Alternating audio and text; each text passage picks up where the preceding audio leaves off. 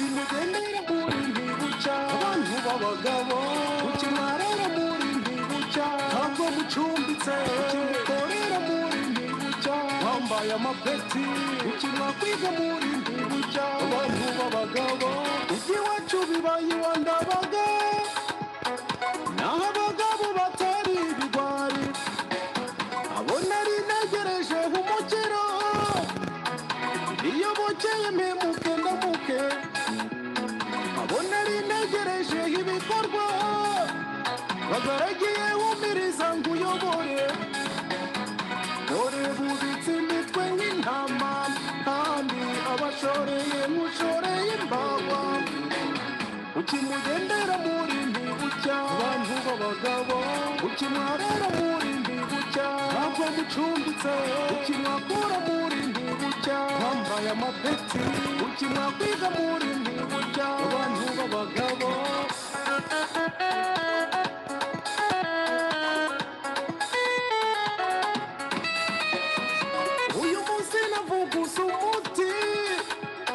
abakuru n'abato mwese mu ntebe wikubitira munsi reba amasoho mutegereze neza hiyo mwerekeza ubundi nawe musige ku maboko. Igobotora ingoyi baba bohesheje muramenye muntu izuba ryaka kandi abayisi n'abagenzi. Mubayeho kuki mugendera muri uyu munsi navuga usa umuti. Abahisi n'abagenzi mubaheho. Ku ikubitiro musige ku maso ubundi kandi musige ku maboko. Ntabyo ntavuze usibye ko nabwiraga nyine abanyega ariko ntacyo ntavuze.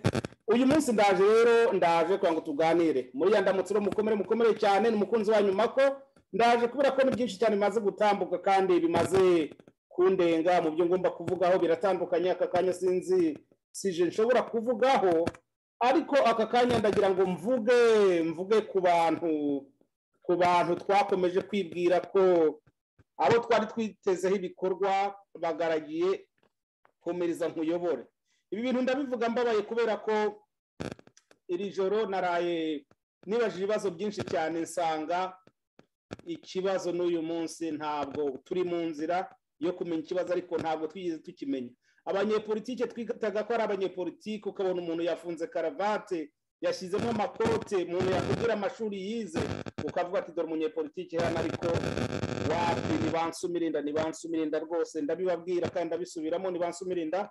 Kubera ko uyu munsi naraye mbonye igitangaza nabonye igitangaza mu ijoro ryakeye kuri sitidiyo umutware ntabwo nari nzi ko habyarimana yari afite ibintu nakwita ko ari ibipupe. Kuko impamvu mbita ibipupe maze kubabona munyihanganire byari ibipupe bari abantu b'ibyubahiro bari abantu mu ofisi ariko ubwenge ntabwo. Ndabivuga mbivanye ku mutima ntabwo. Habyarimana iyo akibimenya ntaba yaririwe yanduranye na kayibanda. Ko nta bantu afite nta n'abantu yigeze gute aka kanya ari bwo abantu bamenye ngo kajuga robert yari ari muri misiyo interahamwe zari iza kagame. Zari iza museveni we bazishinze. Ngo yari afite abantu mu iperereza n'ibigo mbabona ngo bari kutubwira ibintu ngo ari byo basesenguye wapi?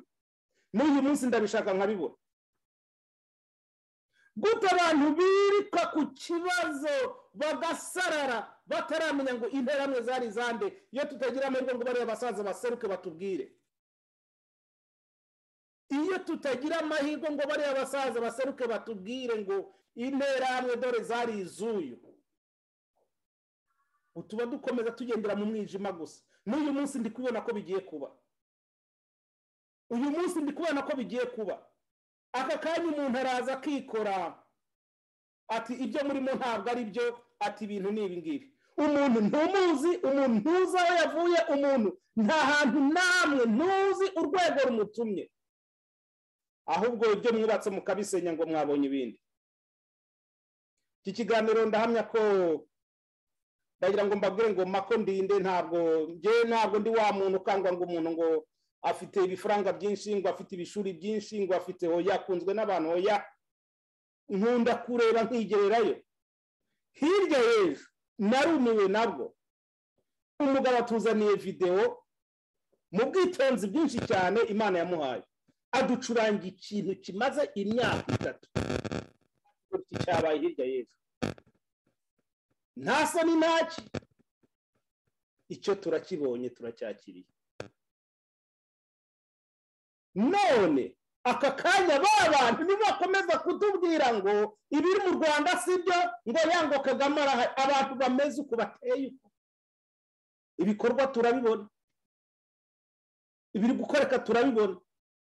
Niba ahari bikaba biri gukoreka kuriya ntawe uhari. Mu migirire. Mwebwe mubyemera ahubwo ni twebwe dukomeza kubeshywa kubera ko muzi ko mutera ibintu byose mukatubwira. Mumbwire robert kajuga mwene kajuga. Kuba mutarigeze munamenya ngo kajuga mukuru we yiganye na kagame bari inshuti bigeza n'ubwo yo ngo kajuga uwo mukuru wa robert.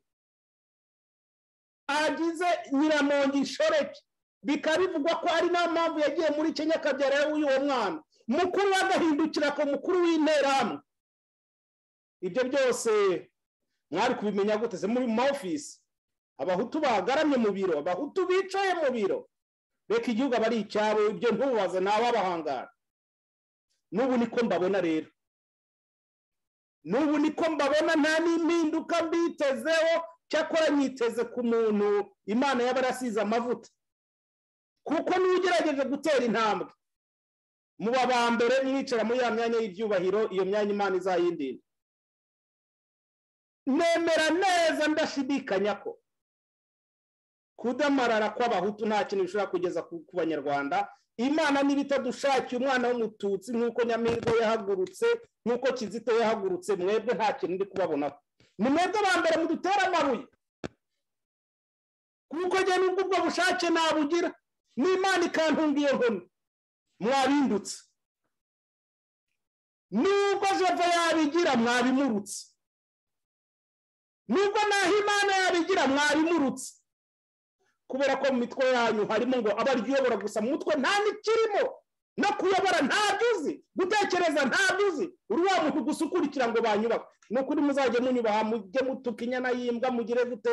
Ariko icyo mparanira ni uko ni uko ntagomba kuba agatobero ni uko ntagomba kuba umuntu uri aho ngo bize ngarame hoya mu buzima bwanjye ntibikabeho. Mushobora kutubwira gute ukuntu uyu munsi mushobora kwifatira FRN mu gahanga? Aha ndavuga ku kiganiro cyatambutse ku ikamba ngewe ntabwo ndi buze kujya kwataka minisitiri simwataka premier minisitiri ntagara ari mu kazi ke. Ariko iyo ndebye amakomantere mbona nta kigenda. Abantu bamaze imyaka muri sirago abantu bamaze imyaka ibihumbi.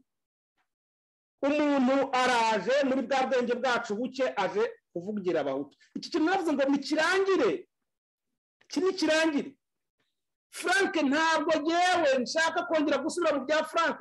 Amakuru mufiteho arahagije. Cyakora niba naribeshye nzategereza ndebe. Ariko inzira yo kubwira abantu ko abahutu bishwe icyo kintu rwose na shitani arabizi. Na shitani arabizi n'abazungu barabizi icyo kubera icyo abahutu bagomba kwibutswa icyo kintu. Ni ukubera ko mu bwonko bwabo harimo ngo two ntitwabishobora hari undi wabituvugira. Ubwo nsimbuye aho kubera ko hariho abantu bambaye ati bite premier minisitiri ntagara bimeze. Oya ari mu kazi ke. Ni natitonda ubwo ashobora kubigwamo ariko nzi neza ko ari makini. Akazi ke nagakore ikindi kandi. Ntabwo nshobora gushyigikira ko umuntu ashobora kuza ngo aje gusenya efereni bye ibya efereni ndabizi neza ntabwo ari ibintu mbaririza kandi amakuru ya buri munsi uko byagenze nawe baba ari mba mpari ndeba nkanura amaso gutya na videwo ubwo rero kuba hari abashobora kumyega efereni ko nta kirimo nta kibazo. Ariko sinibaza ko inda yatewe uyu munsi. Ishobora guseka umwana ukambakamba. Baravuga ko ntacyo dukora.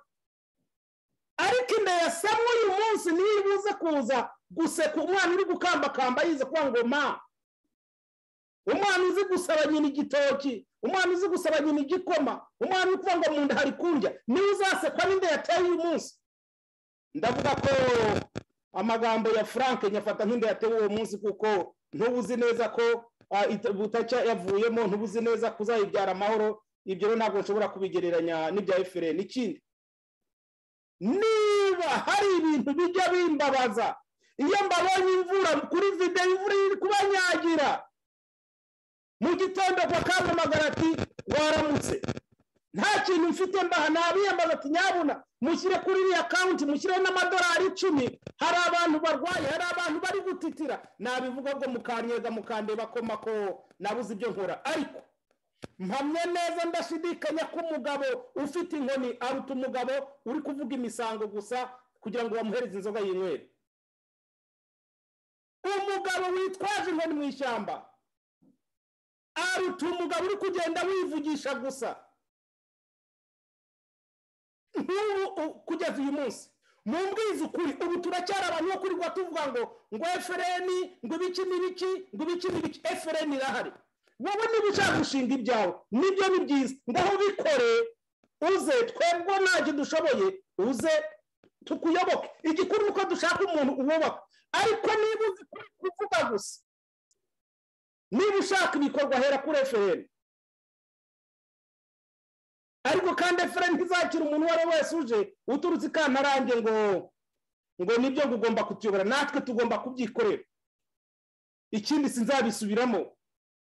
Sinzabisubiramo. Ibi ngibi ndabirangije rwose ndabirangije. Wenda se haba hari umutego? Ariko ngewe nta muntu ushobora kunkura ku rugamba ndiho uko byagenda kose ntawabinkuramo ibindi byose nabireka nkabivamo nkabishyira ku ruhande. Umuntu umbwira ngo nzagende nk'ikigoryi nteze amatwi mvuga umunwa gusa hoya. Ejo bundi barikoze bagiye mu bweyeye. Ntabwo bari bagiye kunsura. Bari bagiye kugira ngo batere ubwoba abantu bantera ubwoba. Oke sinzi impamvu rero niba ari iyi yutube ariko si icyo gusa. Nzajya mbareba mbaseke. Hanyuma rero nk'uko nababwiye habyarimana n'abantu yari afite n'uyu munsi ndabivuga kubera ko uyu munsi dukomeje guhera ku wa mbere. Inkotanyi zishe abantu zarabasatuye zarabanyonze zaratwikiye mu nanjye ndimo ariko iyo mvuga iyo mbigezemo numva birambabaza. Ntabwo twakagombye guhora turira ibyo bintu ntawe utabizi nabwo ngo na shitani irabizi abasesengura inkotanyi zishe abantu zarabasatuye zarabanize. Zatwitse abantu zambuye abantu amazu zagize gutya zafunzuye ibyo ngibyo koko igihugu kigizwe n'intambara imeze uko koko. Icyo gihugu gishobora kuzibohora. Mu ukuri igihugu giteye uko gishobora kuzibohora. None se ingamba ziri he? Ingamba ziri kuri ibyo bintu biri kuba urwo ni rwo rugamba turi kurwana. N'uwakubwira ati ngurira ifumba imwe. Itarenze amadolari magana atatu cyangwa magana atanu uba reka kurira nakubwira ngo abana baranyagirwa ndeba mu ishyamba benda akakanyica baraye batariye biriwe batariye. Akemera kwegura ifumba. Akavuga ati ngomba kwirwanaho nkarwana ku banyarwanda. Ahubwo kunyega. Kunyega. Nababwira ngo ntimukanuye ntimucanye ku maso. Usibye imiteto gusa. Kurata amatitire mwari mufite. Abandi ngo mufite amasheni akomeye. Ayo masheni muraza kujya muyareba mwenyine ubwanyu. Niba mutangiye kujya mutubeshya. Mukaba muri kwifatanya n'abanyakinyoma simbabeshye mwisubireho. Burya si buno. Ibihe byarahindutse. Ntabwo rero ngiye gusakuza ngo nsakuze cyane ubundi nashakuje ko mfite umujinya. Ariko ndagira ngo mbabwize ukuri. Umuntu wese byananiye gushyira amafaranga ku rubuga. Amamagare igihe agahinda kanyije mu gitondo. Nta kintu undi bwikoraho ugiye ku giti cyanjye nka mako abantu bararwaye bafite abarwayi. Abantu bafite inzara baranyagirwa. Ariko iyo mbibabwiye ntimwumva. Ntabwo mushobora kubyumva. Ntabwo nakagombye gusarara uku nguku. Uwumva byamunaniye anyereke mwerekeze inzira. Afungure by'ubuheheze n'idolari rimwe. Utabikeneye nawe abyihorere. Iminsi izabimukorera. Hanyuma rero ikintu ngiye kubabaza kandi mbabaza mbivanye ku mutima ku mutware abantu bavugiraga ku mutware hari abantu ntabona. Ariko hari uwo mfite amakuru ko ngo yasubije ibyangombwa yagiye mu rwanda. Muramenye ntimuzabe mwaramuhaye amakuru niba bivugwa ari byo? Mumushakishe mumumenye muzambwire ahantu zayituna kamudaya ari. Hari abagiye bamugiraho amakenga hari abagiye bamuvugaho byinshi ariko ni ku burenganzira bwe yafashe umwanzuro we ariko niba hari amabanga mwamubikije ibyo ni akazi kanyu birabareba ariko mbivuze hakiri kare mpamya neza ko aya makuru muyafite kundusha ni na byo nababwiye ko nta muntu uzaza ngo yitwaje ngo nyagasani yezu kirisita akuzwe ngo duhite tuvuga ngo ni byo. Oya ibyo byararangiye icyo gihe cyararangiye. Ndagira ngo mbabwize ukuri rero ko tugomba gukanura tukiga kuvangura. Simbizi niba muri mwe bwarabacukuye ntuze izahabu. Hari ayandi mabuye abantu bajyaga bagwaho si ukuyagwaho gutya gusa kugwa kuri zahabu ni ukuvuga ngo wayitoye cyangwa se aho wacukuye wazisanzemo wenda se ugacukura ibyo bita wofuramu wofuramuzi abantu barazizi wofuramu hari abazitiranyaga na zahabu ariko mu by'ukuri biratandukanye. Hari igihe dushobora kubona injeti injeti na zo ziba ni zahabu z'ibifeki ushobora kuyitiranya n'izahabu na yo atariyo dushobora kubona abantu tukabitiranya n'abari ku rugamba kandi abantu bifatanije n'umwanzi wambaye umwambaro nk'uwawe. Ibyo bintu mubihagurukire. Ntabwo rero ndi butinde kuri iki kiganiro. Ndagira ngo mbashimire abantu mwese mwitanze. Abantu mutigaya. Ariko abantu ba mbere tugomba kubanza tugaya. Ni abahoze n'abanyepolitike ba habyarimana. Oya nibagende nta kintu oya oya oya bake muri bo. Bake muri bo. Ntaza kuba nka wa mugabo wabwiye imana ati imana ati rwose ngiye kurimbura uyu mudugudu. Ati uyu murwa ngiye kurimbura. Ati nusangamo n'abantu mirongo itanu. Ati abo mbavanye. Tunsanzemo mirongo itanu ntawe narimbura ariko ndawurimbura tu. Ati none se nusangamo na mirongo ine n'icyenda? Atabo ntirekada ati nusangamo na makumyabiri seti rekada harya havuyemo nde ni roti? Yewe nabonye politiki rero bahoze ari aba ba nyakwigendera habyarimana harimo bake tu nabo sinzi ko barenze babiri ku ijana. Ntabo nta bantu dufite. Nta bantu dufite ntabo icyo nababwira cyo rero kimwe. Ntimuturwe mwambaye ngo mwabonye ngo ishitamba icyo ni kimwe. Ikindi niba mudashaka kwirwanaho muzashira. Mpora mbivuga buri kanya buri munsi. Nta kintu cy'igitangaza nshobora kuba ngo inkotanyi ngo ntizakore ni abanyabyaha baremewe gukora ibyaha. Ni abicanyi mu mico yabo ni cyo gisubizo. Wowe utinyira gufata intwaro ngo komite interinasiyonari zitagufata ituramire witurize data. Ariko ngewe kirazira. Nzi ko hari abatekereza nkange benshi cyane. Ntabwo rongeye kure iki kiganiro ngikoze mbamenyesha agahinda nari mfite n'ubundi. Mfite ibiganiro byinshi idakomeza kubohereza turi muri wikendi kuko ntangiye iminsi y'imibyizi birangora ariko ngomba kugerageza byibura nkagira icyo nsaranganya namwe ubwo naho mu yandi masaha ningira amahirwe turakomeza tuganire murakoze. Ntibucya ntabwo mucumbitse. Ukimukorera muri ntibucya wambaye amapeti. Ukimwakwiga muri ntibucya abantu b'abagabo. Bene iwacu mufite ihahamuka ariko namwe mwabigize uruhare yabanje kuza yihinduye intama. Abazi kureba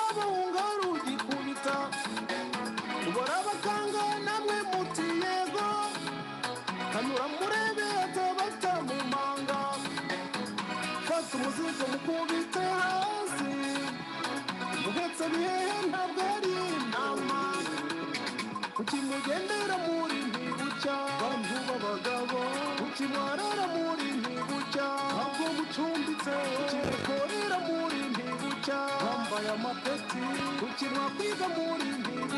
bantu b'abagabo